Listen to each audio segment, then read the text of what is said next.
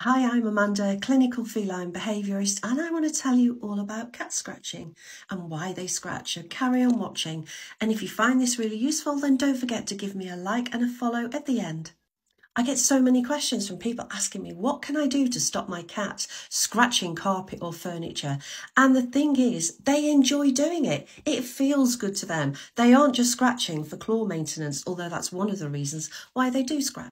So firstly, it's worth remembering that cats like to scratch horizontally as well as vertically. And the vertical scratch poles don't need to be tiny ones. They need to be really, really big, robust poles that the cat can really stretch out and exercise all the muscles because that really does feel good for them. So when you're looking for a horizontal cat scratcher, have a look at some of the cardboard ones and you can see down there, there's one with lots of cord as well and they're really effective too. Make sure you trim your cat's claws regularly. You can see a picture of them here. So that little red bit there is the quick and that's the bit that you need to avoid.